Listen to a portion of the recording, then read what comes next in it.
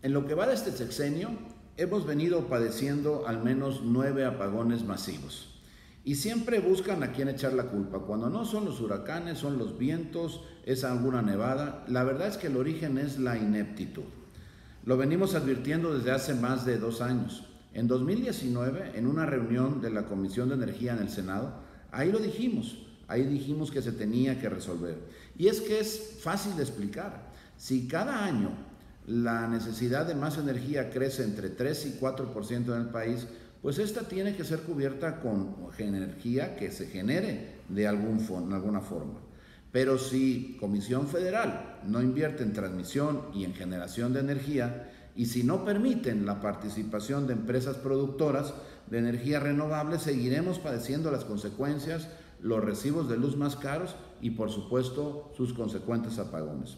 Son millones de personas las que se han quedado sin luz, muchos de ellos en los momentos más críticos justo cuando estaba la pandemia. Algunos pacientes de COVID que necesitaban el uso de ventiladores. Esto no puede seguir pasando. Cientos de miles de empresas han tenido pérdidas por falta de electricidad.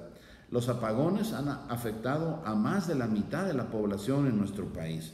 Tomar decisiones técnicas y económicas en lugar de las ideológicas, es lo que se tiene que hacer en Comisión Federal de Electricidad.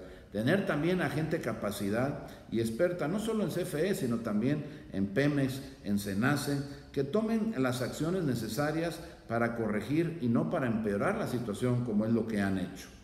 Reactivar las subastas para generación de energía e invertir en energías renovables, entre otras cosas, es lo que urge hacer ya. Los hogares mexicanos Necesitan energía suficiente, barata, limpia, que sea continua en su flujo, pero para eso tenemos que corregir el rumbo de cómo se han venido haciendo las cosas en materia energética en nuestro país, porque hasta ahora lamentablemente han equivocado la estrategia, han equivocado el rumbo y quien paga las consecuencias es la población de nuestro país.